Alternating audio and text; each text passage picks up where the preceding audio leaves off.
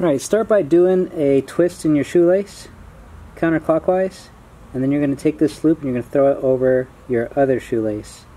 You see this window here? We're going to pull that shoelace through. There we go. And then we're going to switch the positions. So the one that's on my left is going to go over right, and then the one that started off on the right is going to go left. And now you can see there is my overhand knot right in there. I'm going to reinforce it by doing one more turn and then that way I have a double overhand knot. On my left side, I'm going to pull this out and I'm going to step on it with my other shoe and then I'm going to pull it tight. There we go. And that just helps keep everything together while we're doing our bow on top. Straighten that out. I'm going to make a bite here. I'm going to put it in front and then I'm going to pick up with my index and my thumb the string on the left and then I'm going to make a window. You see my middle finger? I'm going to make a window there.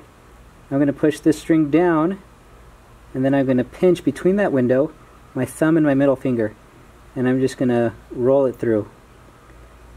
Once I get that through, I'm going to put down my index, and then I'm going to pull the other loop through.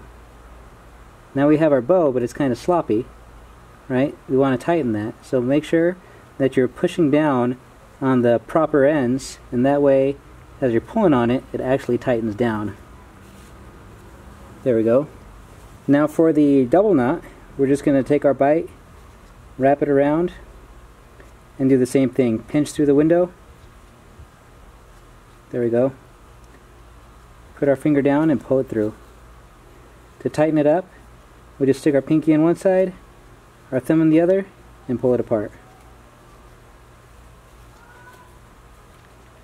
There it is. Another option is a paralink. You just put your strings through each hole, put it down, do your overhand knot, and then that stays tight. You can just tuck your strings on the sides, and to undo it, you just grab it by the middle and wiggle it back and forth.